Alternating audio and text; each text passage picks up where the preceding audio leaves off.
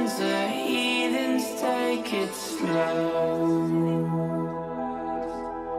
Wait for them to